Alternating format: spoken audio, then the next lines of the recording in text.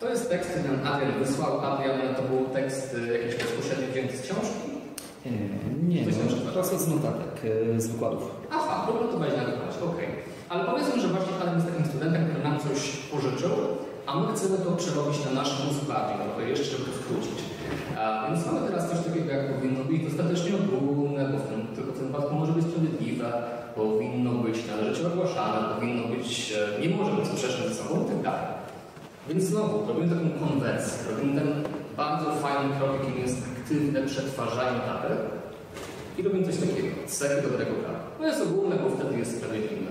Dobrze ogłaszane, nie jest sprzeczne ze sobą, zupełnie, nie podlega różnym, znaczy tam rozbieżnej interpretacji, tak? Nie powinno żądać rzeczy niemożliwych, jest stabilne, respektuje fundamentalne zasady, Nie działa. Właśnie na przykład takie, że nie działa wstecz, tak? A, I więc mamy teraz taki tekst. Do takiego tekstu robimy dosłownie to samo, co te 5-10 minut wcześniej, czyli pisujemy skojarzenia.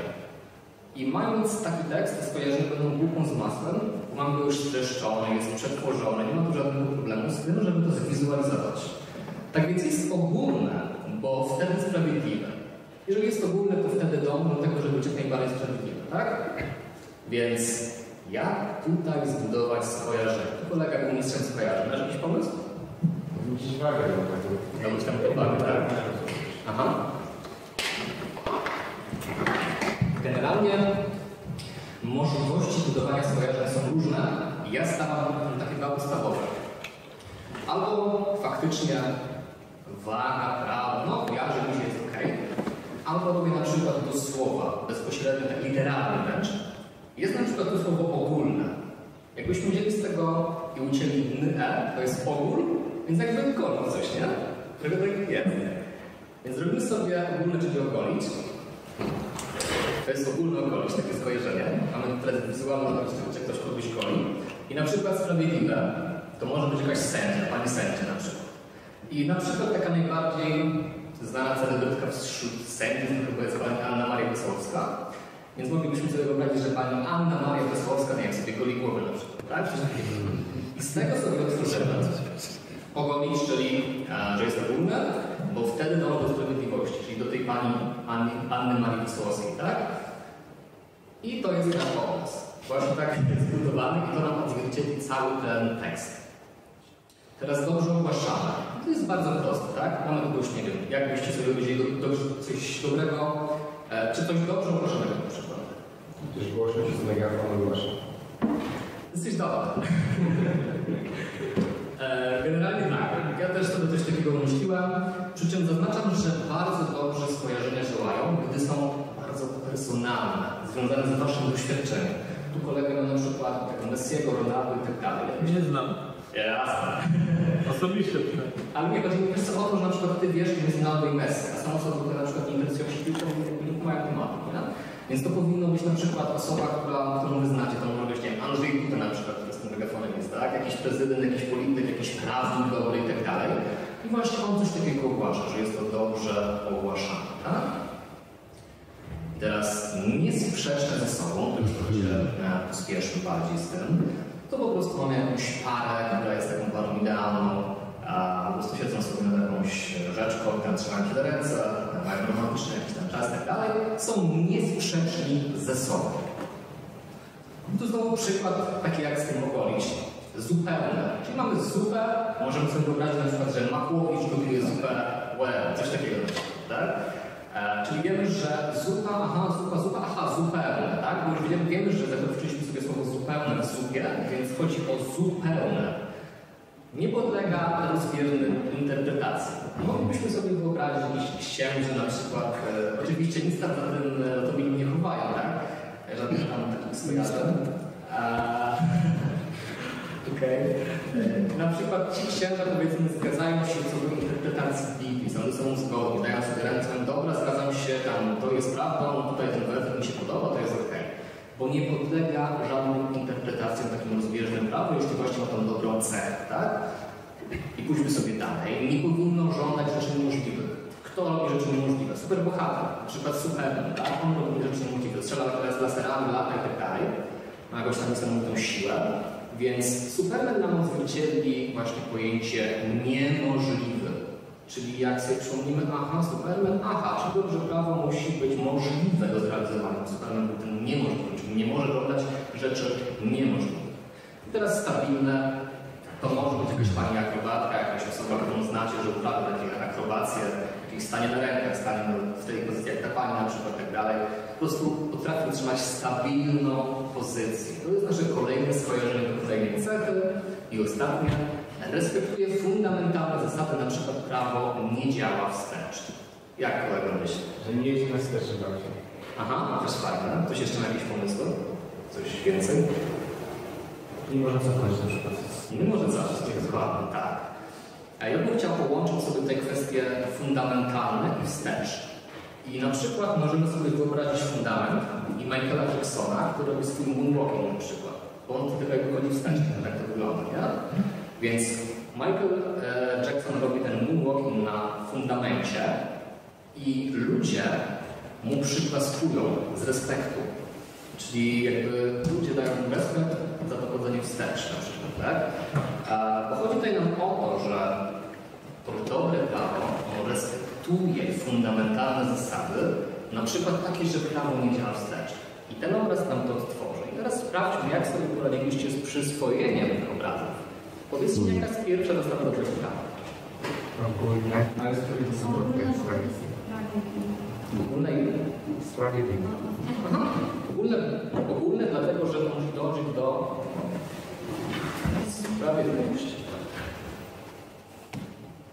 Ja teraz. Dobrze ogłaszam. Dobrze, Boże. Może z grzeczności. Super.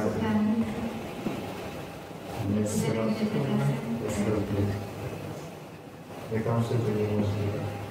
Jeszcze raz? Nie wymaga rzeczy niemożliwych. Stabilny. Nie działa wstecz. No i tutaj jakby ten napisać fundamentalne. Takie jak? Takie jak, że nie działa wstecz. Dokładnie. Więc poradziliście sobie z tym świetnie. I teraz, e, co moglibyście zrobić, żeby mieć to w głowie i na przykład Belfer zadał pytanie, powiedzcie jakie są dobre cechy prawa, to właśnie moglibyśmy zrobić coś takiego.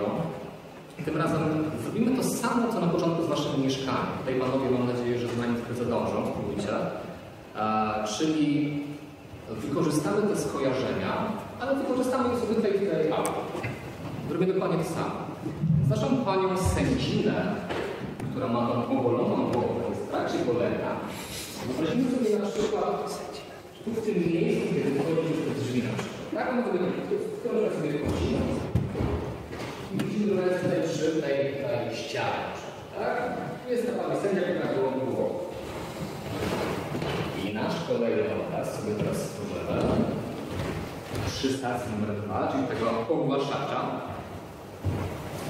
Więc e, powiedzmy, że właśnie pan Andrzej na przykład, nasz prezydent, tutaj wybiera i właśnie ogłasza, że no, prawo musi być dobre na przykład, tak? I to nam reprezentuje schemat dobrze ogłaszany. Czyli tu jest Anna Maria, boi prawowe, tu jest nasz Andrzej który tam przygłasza i robi to dobrze na przykład, tak? Mamy już dwa obrazy, jeden jest tam Właśnie chciałem tak robić, początku i tak. Teraz mamy ten nasz związek, więc powiedzmy, że ta para tutaj siedzi, tak łapie się za ręce jest właśnie taka pogodzona ze sobą na maksa, jest to wszystko ze sobą romantyczne, spójne, bo nie może być sprzeczności, tak? To jest jasne. No i nasz pan Makłowicz, on jest celebrytą Biblii, tak? Więc on tutaj sobie stoi i mówi, a, pyszna zupka, o, coś tam sobie przyląda, robi jakąś zupę na przykład, tak? Robi zupę, bo dobre prawo musi, tam e, mieliśmy taki tekst, musi być zupełne, tak? No i ci nasi księża mogą być na przykład pod taką Gdzieś tam właśnie sobie jakieś wersety z sprawdzają, mówią, o, dobra, to jest, masz rację, to jest dobre, tak powinno tu być, on to zrobił, ten cytat się zgadza. Nie ma żadnych rozbieżności w interpretacji. Nasz Superman, mówiący nam o tym, że nie może hamować rzeczy możliwych, lata sobie gdzieś tutaj właśnie strzela laserami, gdzieś w tych rejonach, pod tą lampą powiedzmy, tu gdzieś tam pod sufitem tak z dynamiczny lat, nie? Coś takiego.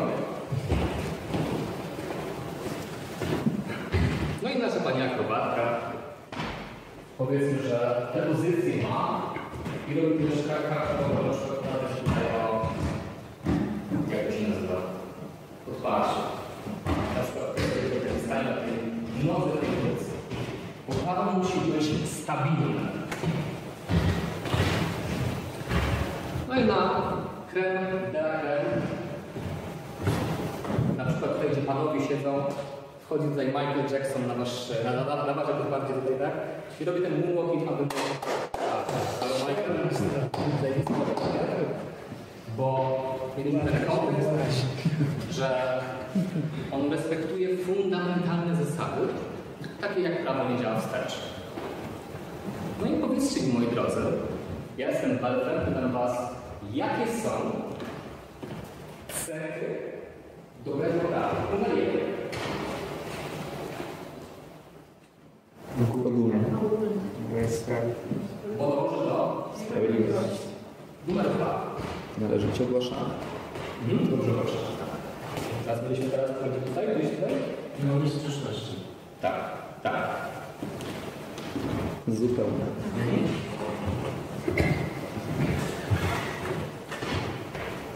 Brak rozpustności interpretacji.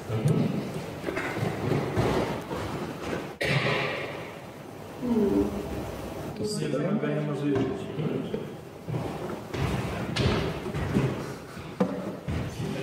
Stabilny.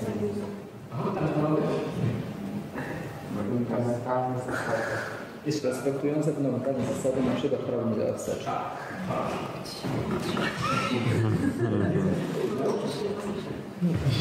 Dokładnie w ten sam sposób jesteście w stanie uczyć się na waszych studiach.